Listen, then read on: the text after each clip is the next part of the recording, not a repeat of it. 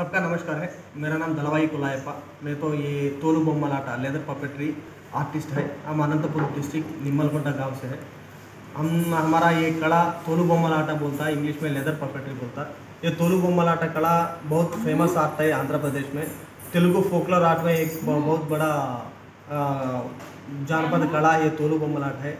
जैसा तोलू बोम्मलाटा बहुत पुराना प्राचीन कला है, जैसा प्राचीन कला हमको हमारा प्रदर्शन देने के लिए खादर अली बेग जैसे एक प्रेस्टिजियस फाउंडेशन में हमको मौका मिला है। हम अक्टूबर आठ आठ तारीख हम तो खादर अली बेग फाउंडेशन की तरफ़ से हैदराबाद में प्रोग्राम कर, करने जा रहा है।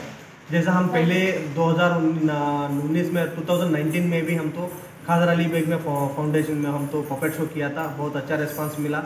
जैसा एक बहुत बड़ा इसमें हमको ऐसा मौका मिलना बहुत खुशी का बात है। हमको बहुत संतोष हो गया। जैसा मौका हमको दिया है खादर अली बेग फाउंडेशन को हमको धन्यवाद कह रहे हैं।